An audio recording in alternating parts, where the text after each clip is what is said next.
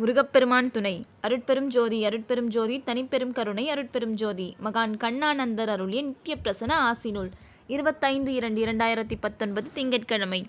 வாருமப்பா தரும நோக்கிலே வரம் தர அரங்க ஞானி இருக்க தாருமப்பா பொருளாதார உதவியும் தன்னார்வ தொண்டு மிக்கவர்களாகவே ஆகவே அனைவரும் இணைந்து அரங்கனின் சீடர்களாகி வருக யுகமே தருமபலம் அடைவதுடன் உயர் ஞான யுகமாகும் என்று கூறி கூறியே நித்திய பிரசன ஆசியை குறையிலா விளம்பி சாலின் திங்கள் தெரியவே முன்னான் கோர்த்திகதி சோமவாரம் விளம்பி வருடம் மாசி மாதம் பதிமூன்றாம் நாள் இருபத்தைந்து இரண்டு இரண்டாயிரத்தி பத்தொன்பது திங்கட்கிழமை தேசிகனுக்கு கண்ணானந்தர் யானும் யானும் உலக மக்கள் நலமுற உரைப்பேன்.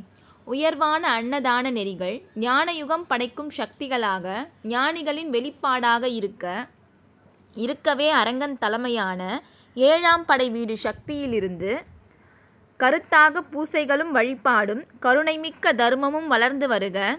வருகவே ஏழாம் படை வீட்டுக்கு வருகை தரும் மக்களுக்கு முருகப்பெருமான் ஆசியும் தயவும். முழுமை ஞானமும் வந்தடைய நேரும். நேர்மைப்பட வாழ்ந்து கொண்டு நீதி மாறா சன்மார்க்க நெறி தர்ம நெறி தொடர்ந்து வருகவே. தவசி அரங்கன் அவதார நோக்கம் நோக்கம் உணர்த்தப்பட்டு நன்கு. நில உலகே அமைதியும் காப்பும் ஊக்கமான வளமும் காணக்கூடும்.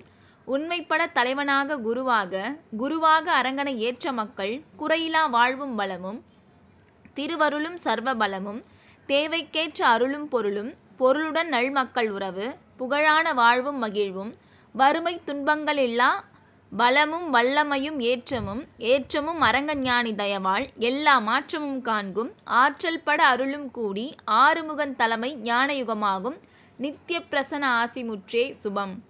முருகப்பெருமான் துணை. மகான் கண்ணானந்தர் அருளிய நித்திய பிரசன ஆசி நூலின் சாரம். வாருங்கள் உலக மக்களே ஏழாம் படை வீடு துறையூர் ஓங்கார குடிலை நோக்கி தர்ம சிந்தையுடன் வந்து தர்மம் செய்யும் உங்களுக்கு வரம் தர முருகப்பெருமானின் அவதார ஞானி ஆறுமுக அரங்கமகா தேசிகன் இருக்கின்றார். தாருங்கள் உலக மக்களே அரங்கனின் தான தர்ம பணிகள் தடைப்படாமல் நடந்திட தாராளமாய் பொருளுதவி பொருளுதவிகளையும் தன்னார்வமாய் தன்னலமற்ற தொண்டுகளையும் ஆறுமுக அரங்கமகா தேசிகனின் சீடர்களாகி வந்துவிட்டால் இந்த உலகமே தர்ம பலத்தினை அடைவதுடன் உயர்வான உயர் ஞானயுகமாக ஆகிடும் அப்பா என்று கூறியே ஆறுமுக அரங்கன் புகழை உலகமெல்லாம் எடுத்து கூறி உலக மக்களெல்லாம் நலம் பெறும் வகையினிலே நித்திய பிரசன்ன ஆசி நூல்தனையே கண்ணானந்தர் யானுமே விளம்பி வருடம் மாசி மாதம் பதிமூன்றாம் நாள் இருபத்தைந்து இரண்டு இரண்டாயிரத்தி பத்தொன்பது திங்கட்கிழமையான இன்றைய தினம் அதனிலே உரைக்கின்றேன் என்கிறார் மகான் கண்ணானந்தர்.